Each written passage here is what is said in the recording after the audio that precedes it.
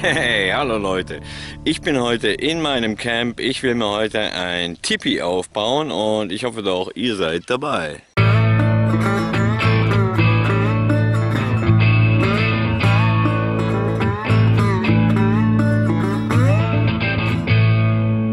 So, der Herbst ist da und äh, traditionell 2013 zum ersten Mal zu Halloween habe ich äh, das Tipi zum ersten Mal aufgebaut, eine Eigenkonstruktion, weil ich ein beheiztes Zelt haben wollte und das Tipi, die Urform der Indianer, gut auch die Jotte aus äh, Schweden oder sonst wo aus dem Norden, sind die Zeltarten mit einer Öffnung oben am Dach wo man dann auch ein Feuer drin machen kann.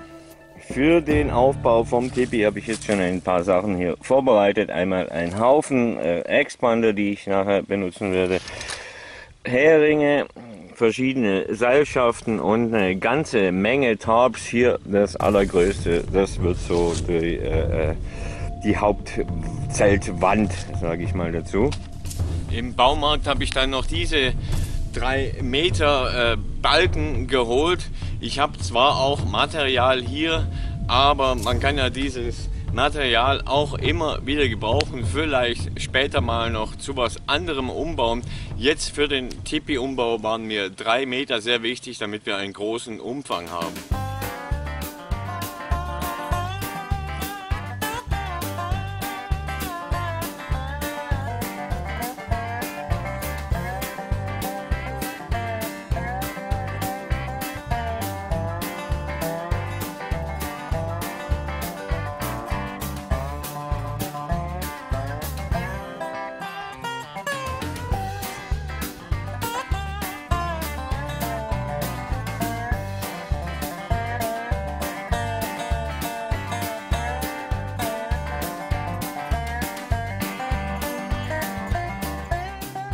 Das ist mal das Grundgerüst so weit. Das ist sehr schwierig, das wirklich jetzt gleichschenklich hinzubekommen. Ich habe gerade eben mal so das Kamerastativ, drun Kamerastativ drunter gehalten, um zu sehen, ob die Winkel stimmen. Ist es wirklich ein gleichschenkliges Dreieck? Wahrscheinlich nicht. Also man darf da jetzt nicht zu genau mit den Maßen sein. Auch äh, obwohl ich jetzt drei Meter habe, erscheint es am Anfang sehr klein, die Fläche. Wir werden jetzt aber noch mehrere Balken anlegen und befestigen.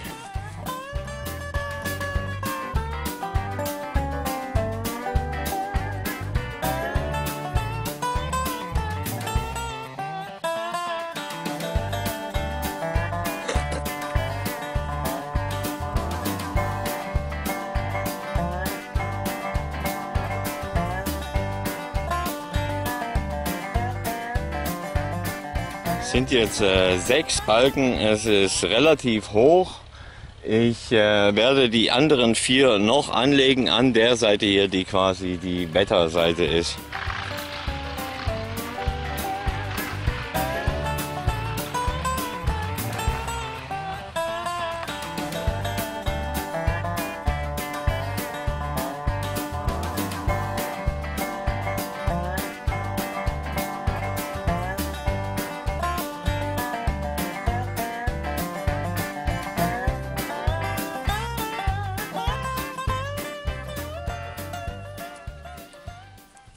Das Ganze wirkt jetzt noch nicht so riesig, so groß, aber ich habe gerade Probe gelegen und es ist wirklich mehr Fläche, als man denkt.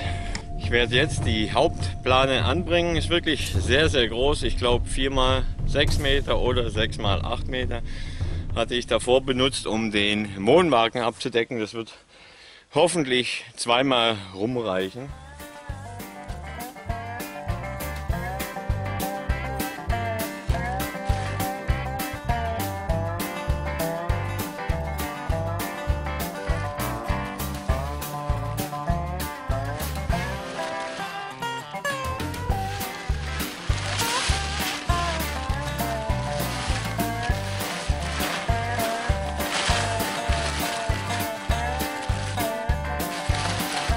So, das äh, Haupttipi, das Hauptzelt steht.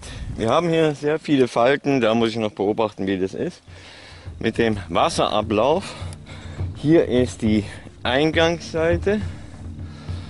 Und ja, es hat jetzt hier so knapp gereicht. Hier seht ihr, habe ich noch befestigt.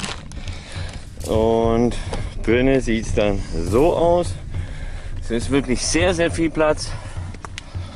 Und tatsächlich ist oben die Öffnung zum Rauchablass. Hier außenrum habe ich mehr oder weniger die Folie nach innen gestülpt. Das werde ich hier noch mit ein paar Hölzern beschweren, dass der Wind nicht ganz so leicht reingeht. Der Zeltrand soll ja äh, windfrei bleiben, den Wind nicht reinlassen. Und die verteilen wir jetzt hier einfach mal auf der Wetterseite. Da muss man dann noch gucken, ob das wirklich taugt, ob die wirklich schwer genug sind und unter Beobachtung halten. Das Dach wird dieser alte Sonnenschirm, Regenschirm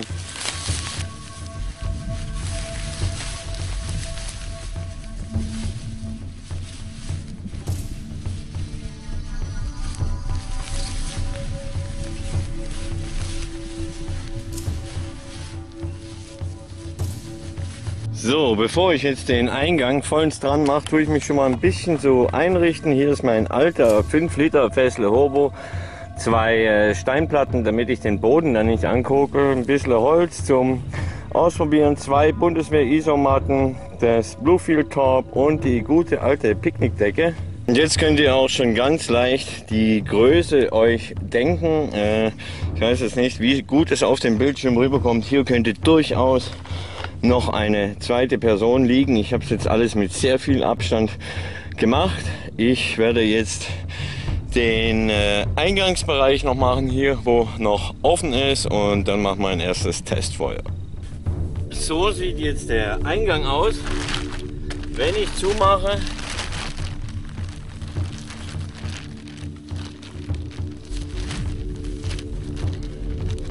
bleibt unten noch ein ganz kleiner Schlitz offen. Im Zweifel könnte ich da jetzt noch das Bluefield drüber machen. Ich lasse es erstmal offen, ein bisschen Zuluft fürs Feuerchen brauche ich ja auch.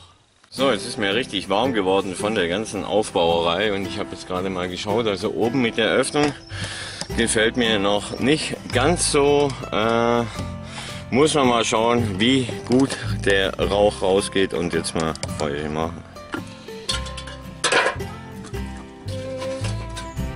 Der gute alte Hobo aus dem 5 Liter Fass.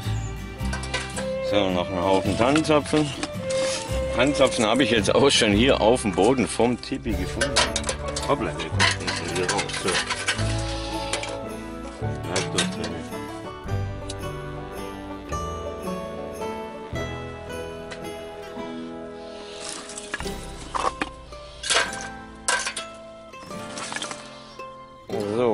Seht, brennt das Feuer drinnen sehr gut. Ich musste jetzt aber hier oben ein extra Loch reinmachen, damit der Rauch auch wirklich abzieht. Ich hoffe, dass es dann mit dem Regen dafür keine Probleme gibt. Muss ich dann ausprobieren. Drin ist jedenfalls sehr, sehr heiß geworden. Äh, der Hobo, der tut wirklich immer noch sehr gut seinen Dienst und man sieht, den Rauch, der sich dabei entwickelt. Und ich weiß jetzt nicht, wie gut man es auf der Kamera erkennen kann nachher im Video, aber hier oben ist es ein bisschen äh, vernebelt. Und ich überlege mir gerade, also das ist ja auch was, wo jetzt, äh, sage ich mal, ich den Vorteil habe gegenüber den Indianern, dann diesen Kohlendioxid-Warner werde ich dann hier auch mit reinnehmen, wenn ich hier drin wirklich nächtigen sollte. Ja, soweit, so gut mal zum Tipi-Aufbau. Ich hoffe, euch hat's gefallen und ich hoffe auch, dass ich demnächst die Zeit finde, dann auch mal einen Overnighter drin zu machen. Ich sag euch vielen Dank fürs Zuschauen. Geht raus, daheim sterben die Leute.